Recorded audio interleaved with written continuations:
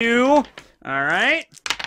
Uh, one. There we go. We got two ones. Two number ones. There we go. Okay, so now you feel like number one, shining bright for everyone, living out your fantasy. I don't remember the rest of the lyrics. Yeah! This is a mallet. I use it to uh, put pictures and whatnot up on the wall. Okay, so number one is Luffy, of course. Uh, that's Monkey D. Luffy, King of the Pirates. Um,